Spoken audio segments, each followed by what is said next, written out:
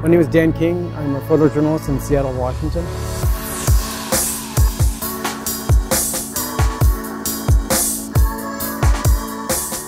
I love the Evo. Like a lot of guys, I've been flying DJI and the speed factor, being able to, to get to a scene, put it on the ground and get going. The image quality from the drone compared to the helicopter. If I was a helicopter guy, I'd be worried because the quality is just amazing.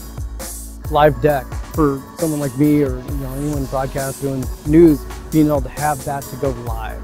A lot of companies aren't using big live trucks anymore. They're going with those little backpacks and to be able to just have that and send a signal, you're getting the aerials you need without having to call out the big helicopter.